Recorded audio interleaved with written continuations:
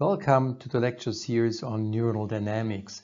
In this video, we look at the Fokker-Planck equation in the presence of a threshold.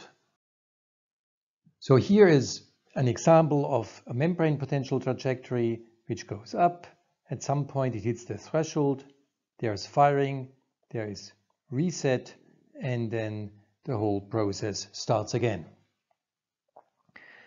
Now, previously we said that the Fokker-Planck equation will have a Gaussian distribution. So we could say there's a mean and then I have a Gaussian distribution around the mean. However, in the presence of a threshold theta, this is just not possible because there can be no membrane potentials above the threshold. In fact, Whenever membrane potential is close to threshold, the spontaneous spike arrivals will kick it across threshold. So the result is that the density of the membrane potential at u equal theta is zero. So it cannot be like this, but the membrane potential must be like this. Now, there's another effect because once a neuron has fired, its membrane potential is re-injected at zero. And this will lead to a kink of the distribution at zero, as we will see um, in the following. So let's look at this Fokker-Planck equation. The Fokker-Planck equation describes the change of the membrane potential density and it has a term that's a, a, drift or velocity term proportional to the density and then it has this sigma squared, the variance that's proportional to the second derivative. Now spikes that are sent, they are sent at threshold and then the membrane potential reappears at the reset potential and uh, this gives this little kink that I mentioned. Now, how many spikes per unit of time will be, will be emitted? Well, that's exactly this quantity A of t. And each membrane potential that hits the threshold is deleted there and reinserted at u reset. And therefore, this is also the factor that appears in front of this delta function. Now we have calculated this drift, gamma of u. We've also calculated diffusion term. Now let's continue to work on this in view of this condition that the density at threshold is zero. So the question we would like to ask now, what is actually this quantity A of t? What is the population activity? Now the population firing rate or population activity A of t corresponds to the flux at threshold. So let describe what this means. The population activity therefore is J at u equals theta. We have seen that J, the flux, has two components. It has the drift component and then it has the jump component.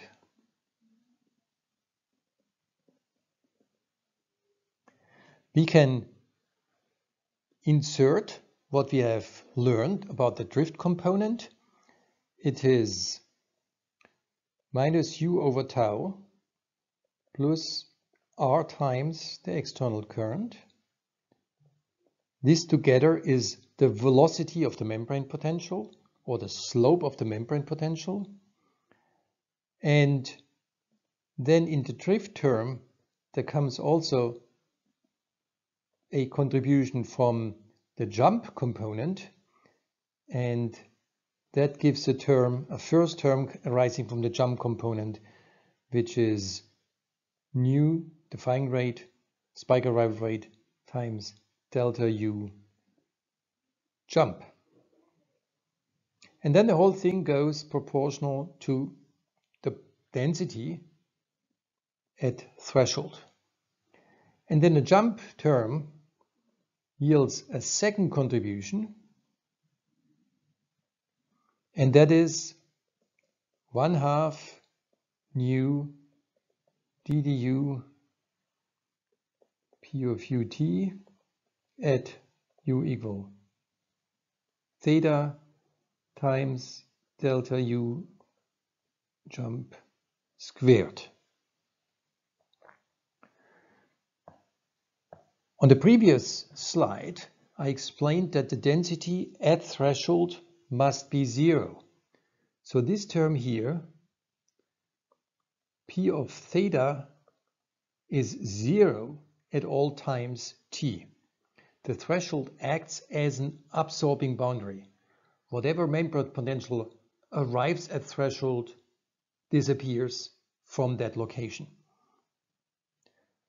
So this means that this whole term here does not contribute. The only thing that contributes is this term here. And the result is that this A of t is proportional to ddu p of ut, the slope at u equal theta. So we can think of the flux through the threshold as proportional to the slope at threshold. And the flux at threshold is important because this really is the population firing rate A of t. With this in mind, let us look at a couple of applications of this formalism. We'll start with uncoupled networks. We look at an uncoupled network of leaky integrate-and-fire neurons there each neuron receives stationary stochastic input. And then we make the assumption that also leads to stationary asynchronous firing so that the population activity cons is constant. And therefore, the individual neuron firing rate, firing rate of single neurons is also the same as the population activity. And this is going to be an analytical result. And that's how we start. Thereafter, we'll also look at time-dependent input, and we will then go from uncoupled networks to coupled networks. But let's start with this uncoupled network in the stationary state. So here again the idea, we have leaky integrate-and-fire neurons. They are driven by excitatory and inhibitory current pulses so that we have control over the variance without changing the mean.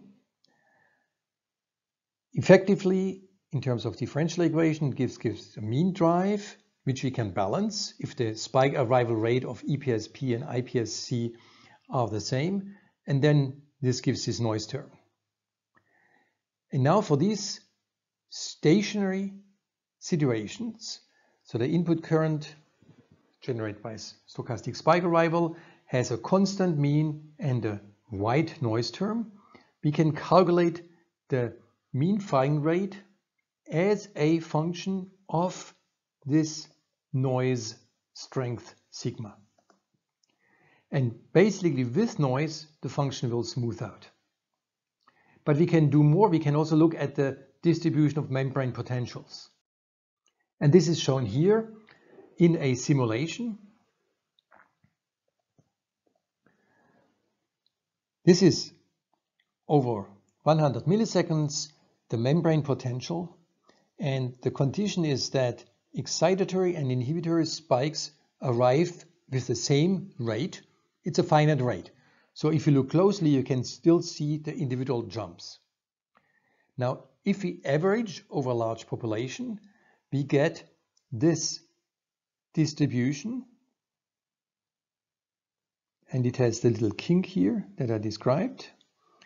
And this was for the case sigma, the standard deviation, sigma 0.2, which also corresponds to the simulation. And the correspondence is just perfect. if we have enough neurons, if the individual contributions of the spikes are relatively small, it's going to be a nice, Gauss, a nice distribution. And the density at threshold is indeed zero because as soon as a membrane potential hits the trajectory, it's gone and it reappears below. It reappears at the reset potential, which was zero here. Now, if we change this standard deviation, if we make it smaller, we get a higher peak, which is sort of closer to the threshold. The threshold is at 1 here. If we have sigma equal 0.5, we would get the curve here. Now for these different sigma values, we can now calculate the mean activity. And this you can think of this as a population activity equal flux through th threshold. Or you can think of this as the single neuron firing rate for constant input with this noise component averaged over a very long time. And again, for sigma equal 0.2, this would be the firing rate as a function of membrane potential. I call this the input potential, the mean drive, the contribution to the membrane potential caused by the input. Um, the actual membrane potential will fluctuate because of stochastic spike arrival and because of the reset, but this is the input-driven part, the input potential. Potential caused by the input. Now we have seen that if there were no noise, then the function would more look like this for the leaking integrate-and-fire neuron. Now if I have a lot of noise, it's really smeared out a lot. Message here for stationary inputs leading to a stationary state, we can calculate the membrane potential distribution and we can calculate the firing rate equal to the population activity, which is stationary. So that was the uncoupled network. We found results. We can calculate the single neuron rate equal to the population activity and this population activity is given by the flux at threshold and we assume that we are in a stationary state. Now let's stay with the uncoupled network but consider a time-dependent input. Then the population activity itself will also be time-dependent. In that case, a direct analytical solution is no longer possible, but we can use the Fokker-Planck equation for a numerical integration. And this is what we are going to do next.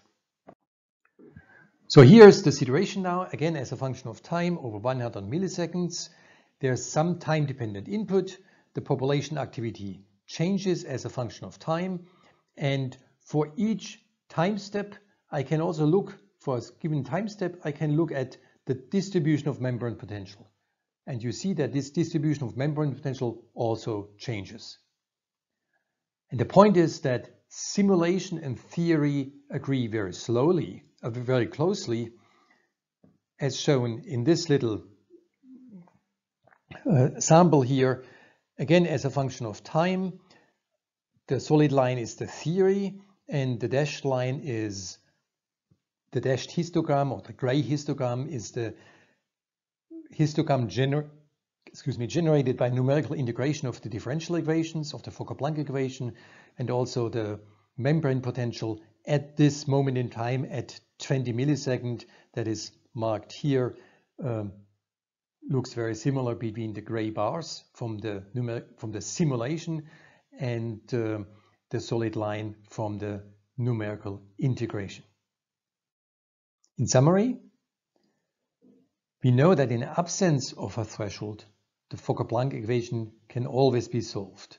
But in the presence of a threshold, we need to take special care. We think of the threshold as an absorbing boundary and the density at threshold must be zero. And for fixed spike arrival rate, we can look at the stationary state and uh, we can predict analytically the stationary distribution of membrane potentials and compare it with simulations. The stationary distribution is not Gaussian. Not Gaussian, well, it has to be zero at the threshold and its peak is roughly one sigma below the threshold. Now for time-dependent input, we can numerically solve the Fokker-Planck equation. That's a numerical solution. And we can also compare with the simulation of a large but finite number of neurons. And again, the agreement is excellent. In summary, the Fokker-Planck equation provides a tool for understanding neuronal dynamics.